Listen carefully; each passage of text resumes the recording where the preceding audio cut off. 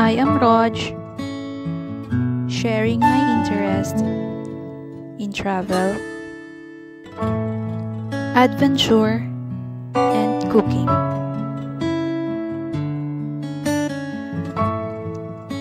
And this is my story.